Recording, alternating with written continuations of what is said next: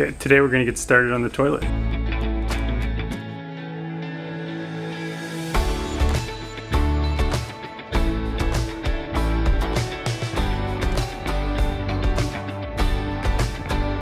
We got it in place where we want to put it.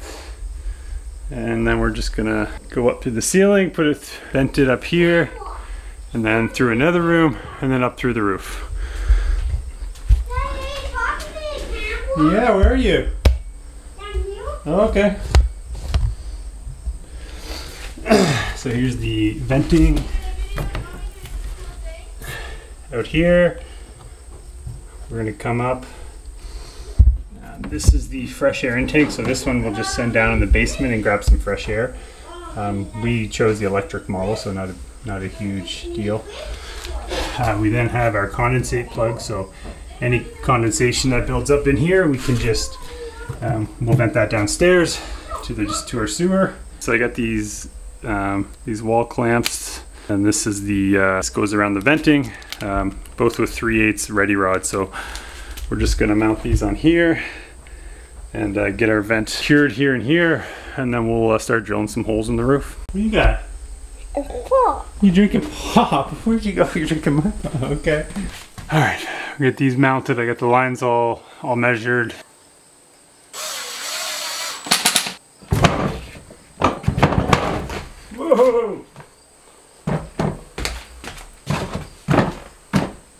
So we got our three clamps.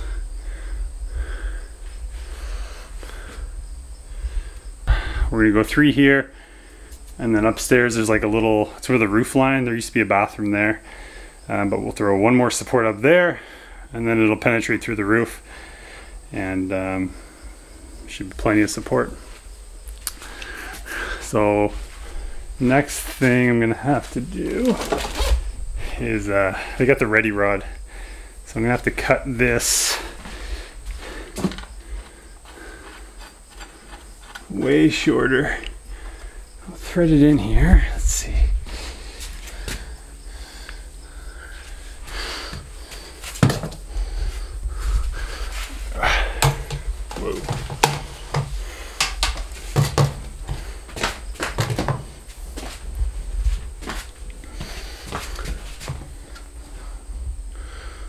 Something like that. We'll get our we'll get our supports on. Just got the uh, ready rod cut. Um, I just use like a sawzall or just a just a hacksaw. Um, you just got to be careful of the edges. See if you get these little burrs on there, it might not thread in, so you might just have to file them down just to make sure they uh, they thread in properly.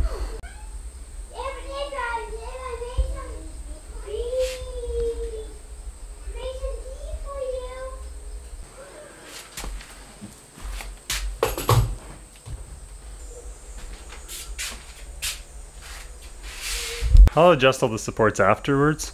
Right now I'm just trying to get a a sense of where where this is going to go up so I can drill my holes up in the roof.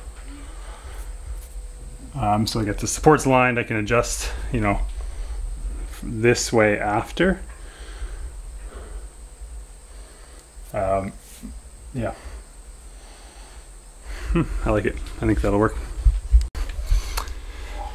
Okay, quick toilet update. Got a lot of the work done behind it, which is venting for our hot water tank or our on-demand hot water heater, um, the sewer stack, the vent stack, um, electrical. There's a bunch of stuff going on behind this, so um, it's been a little delayed um, getting this in, but we got it all now. This is our vent stack for our sewer. Um, this is our plug-in for the toilet. This is the air intake.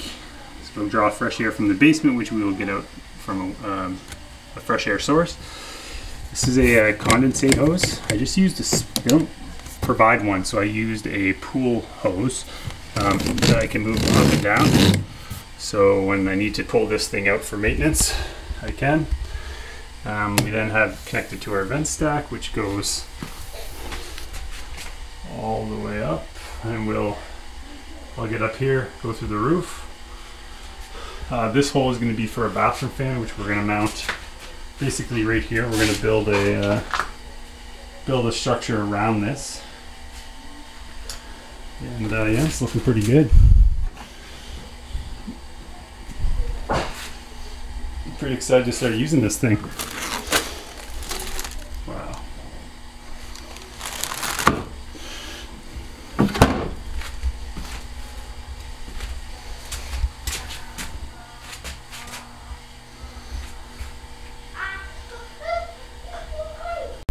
I'm up in our little crawl space. Below me is uh, is the bathroom. So these are all our venting for the bathroom and stuff.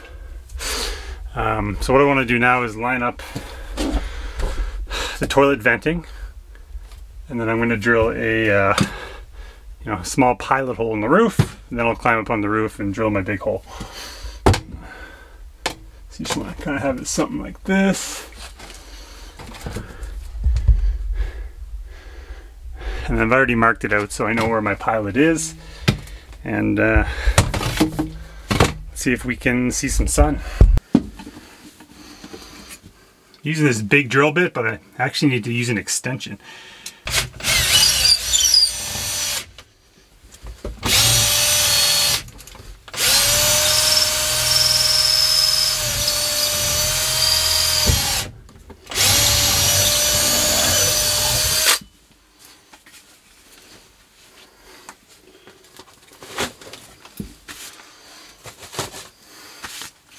Perfect, I can see the sky, so we now have a hole in our roof and need to get this done while we have a sunny day because next week's calling for rain. So let's get up on the roof and uh, cut a bigger hole.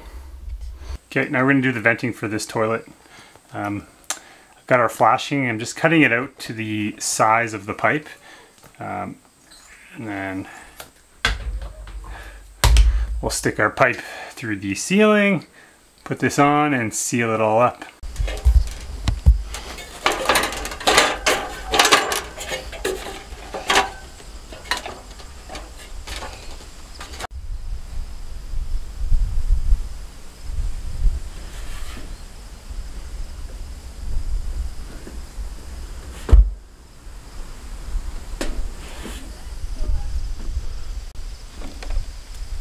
A chainsaw garbage finally got power to our toilet. Uh, now we're going to go through the startup procedure, run it through a cycle, and uh, see how she works.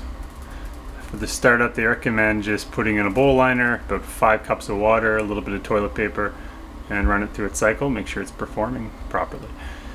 Um, so we're going to do that. So this is where the ashes are kept. So you kind of press these buttons, this pops out. Little strap in here, you have to remove this strap set the toilet. So, see if I can find something to cut that with.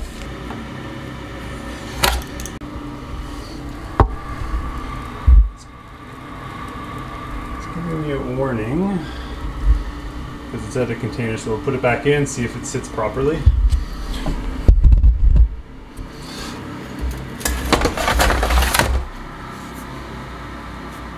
Okay, we're gonna run through the startup procedure. Says to lift the lid, put a bowl liner in,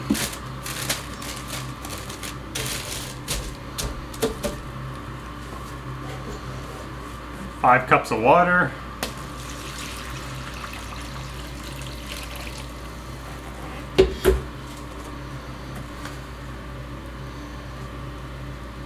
three feet of toilet paper,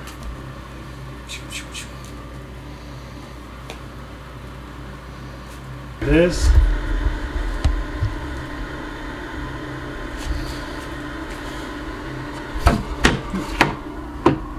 Close the lid. Press the flush button.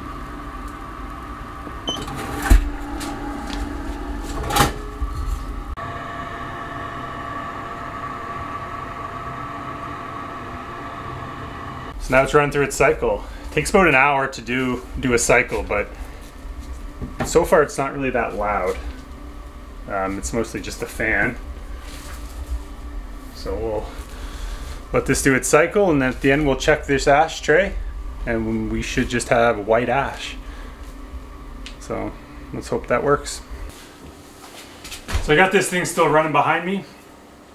Um, it's not very loud, so I'm okay with that. Why we chose to go with this toilet, an incinerating toilet, is because although we are on an island surrounded by water, water is a problem here. We, we only have a 50 foot dug well.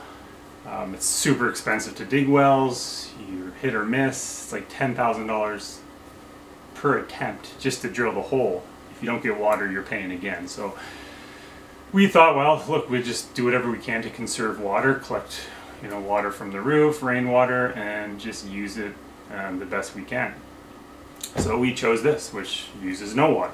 Maybe just a, a little bit to, to, rinse it out every once in a while um, if there's not enough in it to do an incineration. We also chose the electric model uh, versus the gas model because um, you know someday we'd like to be off grid and being able to we don't want to rely on getting propane we can't make our own propane so if there was ever a shortage of propane and we can't run our toilet, that's a problem. Whereas if we have solar panels, um, as long as the sun keeps shining, we're, we're good to keep flushing our toilet. Or flushing or pressing our toilet, I don't know what to say anymore. The next big reason is we have a 40 year old septic field and it will need to be replaced eventually and that is a huge cost. You're looking maybe 30, 40 grand for a septic field, $6,000 toilet. Um, we've now separated all of our human waste and uh, we can completely uh, you know focus on setting up a gray water system which goes back out into our plant so it's all we're looking ahead down the, down the road to see make sure what we want to do on this property and with this house um, which is to be off grid and uh, use as much as of the um, resources as we can. I know some people don't want the electric and the solars. It is a huge drawer of power. This is 240 volts, but we make that up in other ways. Um, we try not to use our dryer. We actually don't even own a dryer right now. Um, we remove our stove and we just have a unique stove that is has no electricity, just gas and um, you know 12 volt batteries. Um, if we need to um, you know run out of gas, we can still have a separate cooking source, which would be wood. So we're just trying to have backups to backups and, and uh, go from there. So uh, this thing's still running behind me. I'm gonna let it back and I'll, I'll check in with you guys when it's all finished and we'll have a look inside. All right, so the toilet has finished its incineration process. Press the button. Take this off. Still pretty hot.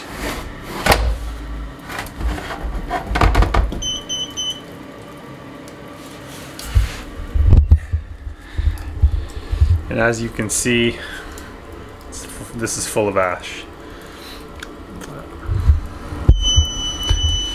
By the way, this is not um, from just the initial startup cycle. This is probably after using it for maybe two weeks. So two weeks of waste in this little container. That's everything.